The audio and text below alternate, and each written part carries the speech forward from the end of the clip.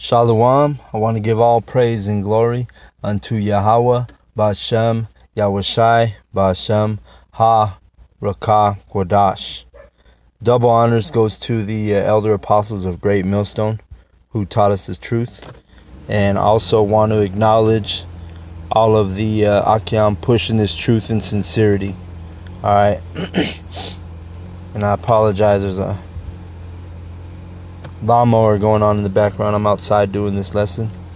So, um, I just want to do a quick Sabbath uh, touch on the Sabbath uh, because there's been, well, not hasn't, it's been going on for a long time.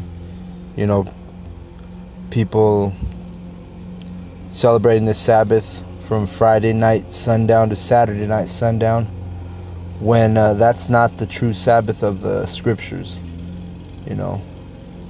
So I'm going to start on uh, Exodus 31 15, uh, just to kind of bring out the importance of the Sabbath. So it says, Six days may work be done, but in the seventh is the Sabbath of rest, holy to the to Yahweh. Whosoever doeth any work in the Sabbath day, he shall surely be put to death.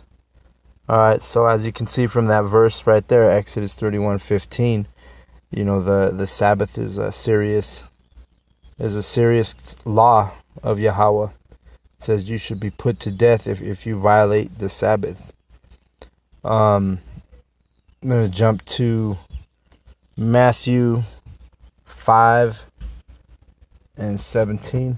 And reason is is because I just want to prove that the laws are still in effect, um, unlike the Christian church teaches. You know, they say that the old laws are done away with, that Jesus, you know, changed that, which is not true. This is uh, Matthew 5 and 17. Think not that I am come to destroy the law or the prophets. I am not come to destroy, but to fulfill. Okay? I'll keep reading. For verily I say unto you, till heaven and earth pass, one jot or one tittle shall in no wise pass from the law, till all be fulfilled. Whosoever therefore shall break one of these least commandments, and shall teach men so, he shall be called the least in the kingdom of heaven. But whosoever shall do and teach them, the same shall be called great in the kingdom of heaven. All right, so this is New Testament. All right, so every Christian I ran into, they say that the Old Testament laws are done away with, right? Because that's what they've been taught, and they've been brainwashed to believe that. so just wanted to show that verse, you know, those two, three verses in Matthew 5. Um,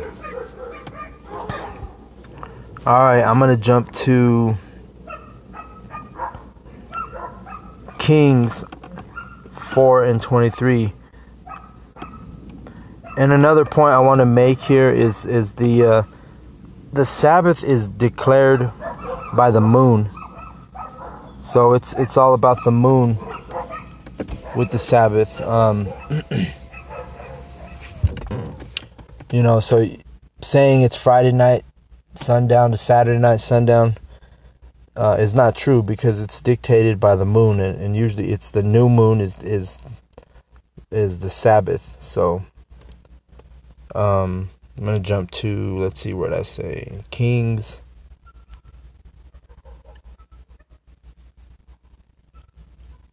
Four and twenty. All right, I know it's Second Kings. Sorry. Second Kings 4 23. At the top of the screen it says Second Kings 4:23 and he said wherefore wilt thou go to him today? It is neither new moon nor sabbath. And she said it shall be well. Okay. So just wanted to point out that that that's what it is that dictates the sabbath. It's the the moon Okay. So let me jump to Sirach which is also called Ecclesiasticus. So let's see here. Here it is. Ecclesiasticus, and we're going to go to 43 and verse 6. 7 and 8. 6, 7, and 8. so is Ecclesiasticus 43, 6. He made the moon also to serve in her season for a declaration of times and a sign of the world. All right, so the moon is the it declares the times including the Sabbath, okay? So it's the moon that declares the holy days and the Sabbaths and the times and the seasons, okay?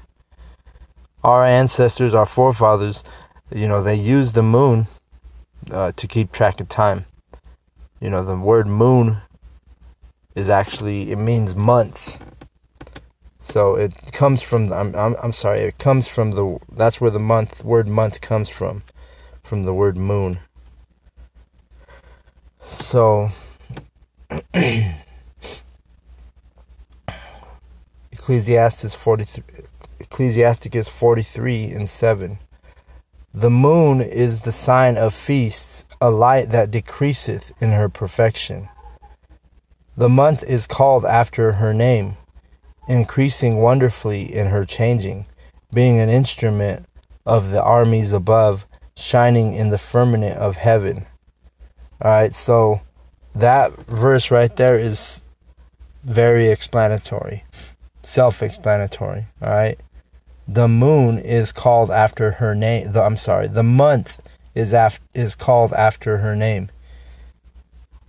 All right, so there's that justification on the moon.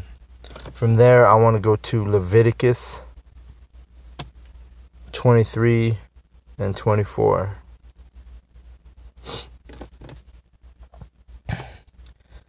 Speak unto the children of Israel, saying, In the seventh month, in the first day of the month, shall ye have a Sabbath, a memorial of blowing of trumpets, unholy convocation. All right. So, again, these laws, these commandments have been given to Israel, so called black, so called Native American, and so called Hispanic people are the Israelites, and those are the people of Yahweh. Those are the people who these laws were given to, including the Sabbath. From there, I want to go to Isaiah 66 and 23. Let's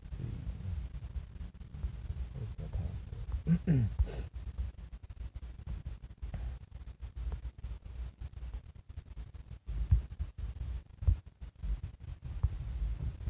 In Isaiah 66 and 23 at the bottom of the screen. And it shall come to pass that from one new moon to another and from one Sabbath to another shall all flesh come to worship before me, saith Yahweh. And they shall go forth and look upon the carcasses of men that have transgressed against me, for their worm shall not die, neither shall their fire be quenched, and they shall be an abhorring unto all flesh. So, really, you want to concentrate on 23 there. It shall come to pass that from one new moon to another, and from one Sabbath to another all flesh shall come to worship before me, saith Yahweh. Again, showing you that the Sabbath and the moon, they're parallels, they go hand in hand. Okay? Um I'm going to jump to Deuteronomy 16 and we'll go to 8.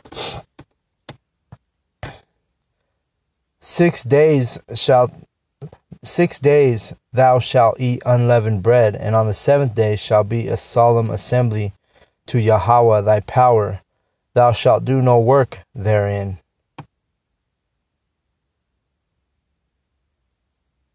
Seven weeks shall thou number unto thee, begin to number the seven weeks, from such time as thou beginnest to put the sickle to the corn.